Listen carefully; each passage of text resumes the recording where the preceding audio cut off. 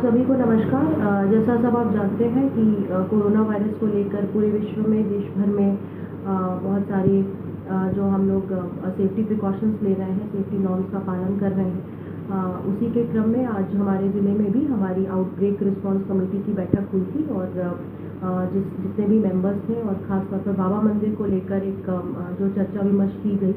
और उसी के बाद हम लोगों ने मंदिर कार्यालय में मंदिर प्रशासन और पंडा धनरक्षिणी सभा के सभी सदस्यों के साथ हम लोगों ने बैठक की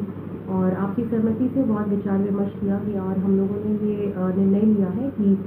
कल से यानी 20 मार्च से लेकर 31 मार्च तक आने वाले 31 मार्च तक हम लोग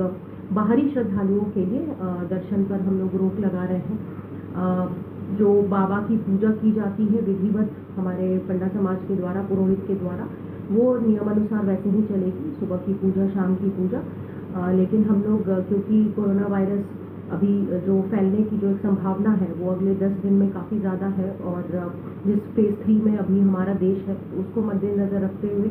और सभी की सुरक्षा को मद्देनज़र रखते हुए आपकी सहमति से हम लोगों ने ये निर्णय लिया है कि हम लोग इकतीस मार्च तक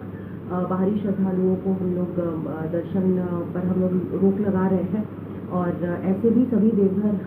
ज़िले के सभी वासियों से सभी लोगों से अपील है कि कृपया आने वाले कुछ दिन तक भीड़ भाड़ वाले इलाकों में नहीं जाए। हमारा सहयोग करें। हम सभी को एक रिस्पॉन्सिबल सिटीजन के नाते हम सभी की ज़िम्मेदारी बनती है कि हम लोग इस चैलेंज को, इस जो भी इश्यूज़ चल रहे हैं, इससे संबंधित उनको हम लोग अच्छे से हम लोग इसको टैकल कर पाएँ ताकि हमारे ज़िले में ऐसी कोई घटना ना हो और हम लोग प्रिकॉशंस के साथ केयरफुल होकर, सतर्क रहकर हम लोग इसका सामना करें। पैनिक करने की कोई बात नहीं है, जैसा हम लोग बार बार भी कह रहे हैं कि जो सतर्कता बरतनी है, जैसे साफ़ सफ़ाई को लेकर या भीड़ भाड़ को अवॉइड करने को लेकर, ये सारी चीज़ें हम सभी फॉलो करें और उसी क्रम में आज ये भी निर्णय लिया गया है। इसमें सभी का सहयोग अपेक्षित है और आशा है कि हम लोग जल्दी इस सिचुएशन से बाहर